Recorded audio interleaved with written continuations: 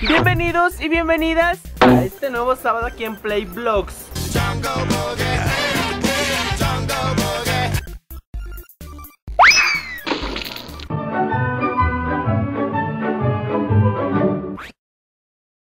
Buenas tardes, buenas noches o buenos días a todos y a todas aquí a este nuevo sábado aquí en Play Vlogs. Ya sé que no subí video la semana pasada ni la otra semana porque estaban mis días. Me refiero a que estaba un poco emo, un poco triste, un poco deprimido. Y cuando estoy deprimido no me gusta hacer videos para ustedes. Pero ya estoy mejor, solo un poquito. Así que empezaremos con el tema de la semana, el cual me cae como anillo al dedo. ¡Ah! El tema de la semana es amigos con beneficios.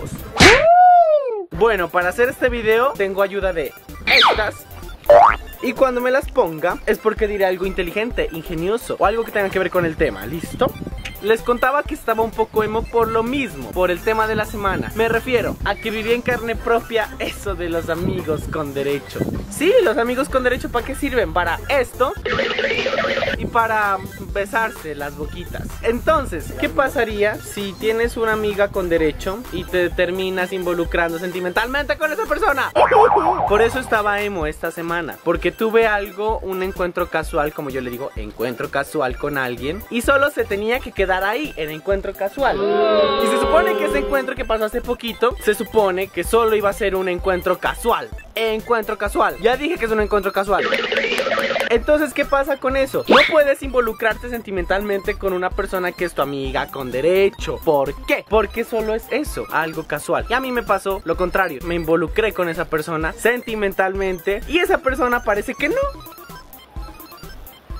Y estuve tan triste las anteriores semanas Por eso no subí video Porque estaba un poco emo Estaban mis días eso me pasó y solo las cosas malas le pasan a William el malo. No puedes involucrarte sentimentalmente con esa persona. Porque esa persona pueda que tenga novio o novia. Entonces la terminas cagando. Cagando. No puedes involucrarte con alguien que ya tenga una pareja. O puedes, pero el chiste es Cayetano. Y mi consejo lo digo por experiencia propia. No te involucres con alguien que solamente fue un encuentro casual. Porque te vas a terminar lastimando porque te estás involucrando con alguien que no debías. Tienes que esperar a que la persona indicada llegue y si no es esa persona, simplemente deja ir.